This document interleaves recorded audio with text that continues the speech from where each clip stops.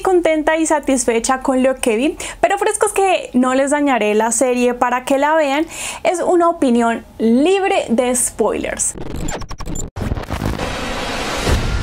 Una de las tantas razones para ver The Umbrella Academy de Netflix es que no es más de lo mismo. Es una serie que no es predecible y te hace mantener enganchado por poder comprender lo que sucede en la alteración de una línea temporal.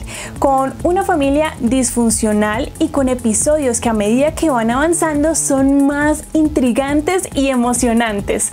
Con revelaciones que cambian el rumbo de la historia al punto de sentir la necesidad de ver una tercera entrega. En esta segunda temporada su trama es más aterrizada y sólida en propuesta y estructura. Mantiene su humor negro con su mezcla de drama y comedia. Klaus, spend here? No, unfortunately, ghosts can't time travel. Are you kidding me? El final de la primera temporada fue demasiado impactante y nos dejó con ganas de saber qué iba a ocurrir luego de que los hermanos Hargreaves trataran de detener el apocalipsis y es realmente genial cómo logra mantener la audiencia de esta serie. La evolución de la historia, su arquitectura narrativa, el desarrollo de los personajes, su buen guion, los efectos, la acción y su increíble banda sonora que por cierto es de lo que más me gustó. Y abro paréntesis, en los próximos videos les voy a hablar de ello como algunas de las curiosidades de la producción, de los personajes, cositas que ocurrieron en medio de la serie, así que súper pendientes de los próximos videos. Y cierro paréntesis, hacen que sea una gran producción al punto de superar a la primera temporada sin duda alguna, con más acción, combates y enfrentamientos con el uso de poderes por parte del equipo. Escenas divertidas que empatan muy bien con los efectos y el increíble soundtrack. Algo que me gustó bastante es la humanidad de los personajes. Tiene un peso más grande que sus superpoderes y por ello vemos el desarrollo de su personalidad de manera individual, permitiéndonos conocerlos de una mejor forma. Alright, first off, I want to say we brought the end of the world back here with us. Oh my god, again? My cult is gonna be so pissed. I told him we had until 2019. We have until Monday. En la anterior veíamos en medio de unos flashbacks su pasado, pero ahora se centra es en sus heridas y el dolor que los marcó. Razones que explican el porqué de sus acciones al punto de que ya vamos a empatizar mejor con ellos. En especial con Luther y Allison. No sé si a ustedes les pasó lo mismo. Dentro de las situaciones que más se resaltan es la originalidad para mostrar algunos guiños como referencias de hechos importantes en la historia de los 60 como el asesinato de John F. Kennedy, la Guerra Fría, el hipismo, la homosexualidad y una de las escenas más conmovedoras e impactantes es la lucha contra el racismo y la discriminación a un nivel muy alto, como el libro de la Tierra a la Luna de Julio Verne y una grata sorpresa es ver que enaltecen la calidad de nuestro café colombiano. A medida que pasan los capítulos es más emocionante y se comienzan a entender las incógnitas inexplicables de la primera temporada en la que vimos tan solo una pequeña pizca de sus poderes y aquí veremos por primera vez con claridad la magnitud de lo que pueden lograr en enfrentamientos mucho más interesantes e impactantes al punto de ser acusados como terroristas y monstruos.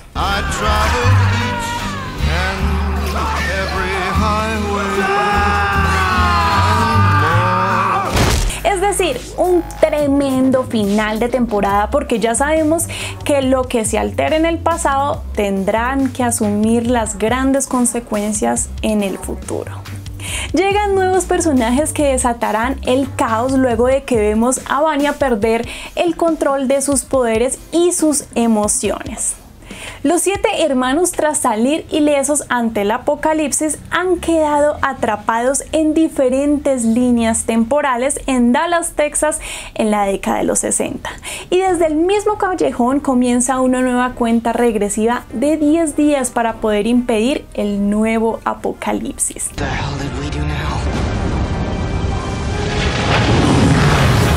Was that? The end of the world, November 25th, 1963. And where am I now? Dallas, 10 days earlier.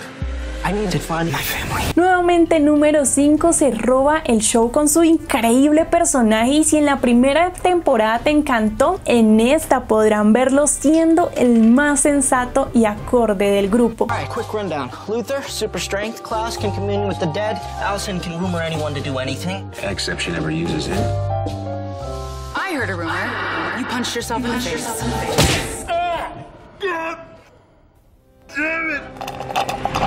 Los efectos sin duda alguna son un gran atractivo que hacen que disfrutemos los poderes en todo su esplendor, como ver a Vanya mucho más poderosa y a Klaus, quien en esta temporada se convierte en un personaje muy importante mostrándonos una mejor relación con Ben. Este personaje sin duda alguna fue uno de mis favoritos a ustedes, ¿qué tal les pareció?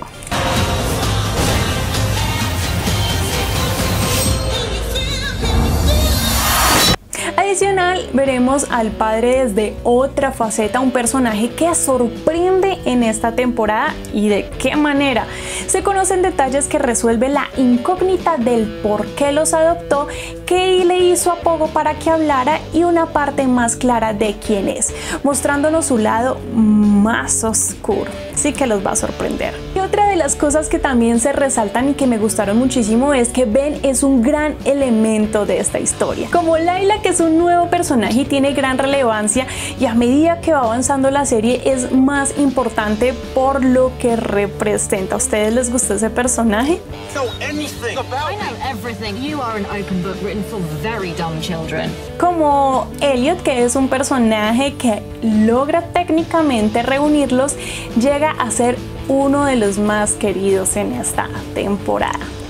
Los nuevos asesinos enviados por la comisión son unos suecos que parecen ser como los tres chiflados y aunque poco hablan nos muestran más rudez, agresividad y generan miedo versus los anteriores que eran un poco más cómicos. Before everyone and everything we know is dead. El final contiene bastante drama y nos deja en un gran suspenso, es brutal por ello. No sé, déjenme saber qué tal les pareció esta serie y si no la han visto al ver este video, qué es lo que va a hacer para que ustedes la vean realmente estas dos temporadas, valen la pena verlas si no lo han hecho para que vayan ya mismo y lo hagan. Y si ya la viste, déjame saber cuáles fueron tus personajes favoritos, las escenas que más te generaron impacto y los que no se han suscrito, bienvenidos, denle like, compártanlo, suscríbanse al canal y déjenme saber qué tal les pareció ese video. Mi nombre es Maritza Ariza y nos vemos en una próxima opinión.